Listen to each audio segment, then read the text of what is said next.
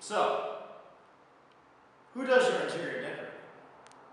Do you have a problem with my interior decorating?